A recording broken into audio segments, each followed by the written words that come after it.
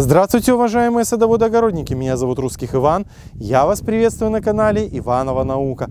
В осенний период очень важно правильно поухаживать за посадками малины. Мы уже как-то говорили о том, какие удобрения, минеральные удобрения в первую очередь следует вносить в период плодоношения малины, в начале и в период плодоношения для того, чтобы она дала очень хороший урожай.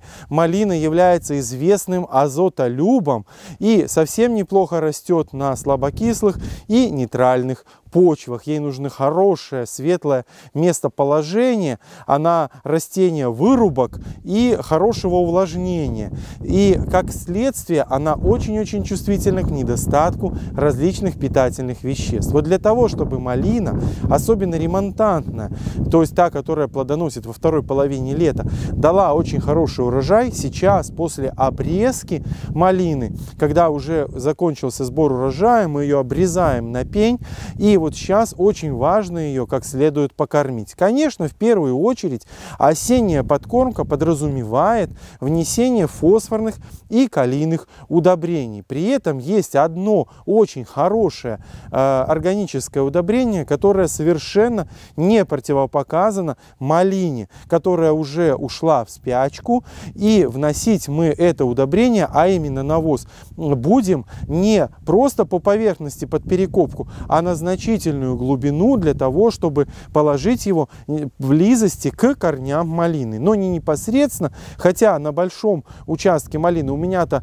посадки молодые, участок у меня молодой, ну, так сказать, я на нем работаю совсем немного, буквально это второй сезон вегетационный, а вообще э, там, где сплошные участки малины, там, конечно, где ни копни, всегда попадешь на какой-то корень. Но хорошо перепревший навоз не представляет никакой опасности для корней малины и, будучи внесенным в осенний период, он будет неактивным, но малина, обладающая ранними сроками начала вегетации, начнет забирать оттуда питательные вещества очень рано, тем самым в значительной степени повышая продуктивность. Э, сделать такую подкормку проще простого. Надо выкопать ямку буквально там на полтора штыка лопаты, набить ее навозом и закрыть сверху землей.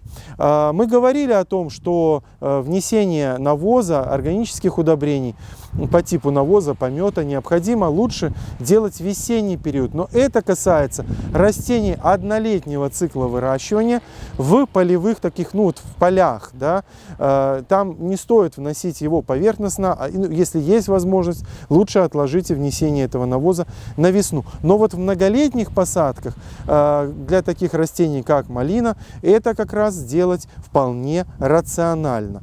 А, стоит ли так подкармливать крыжовник и смородину? Нет, не стоит. Для них в этой подкормке будет слишком много азота. И с весны они могут начать жировать, давать сильную вегетацию в ущерб э, процветению и образованию ягод. Малина же, напротив, с весны начнет давать бурный вегетативный рост и, как следствие, огромный-огромный урожай. В то же время, будучи сделанной осенью, эта подкормка освободит вам время ухода за посадками малины весной, и вы уже каких-то подкормок особых можете там и не делать. Что ж, подкормите малинку сейчас так. Будет много хорошего, вкусного и полезного урожая. На этом я прощаюсь с вами.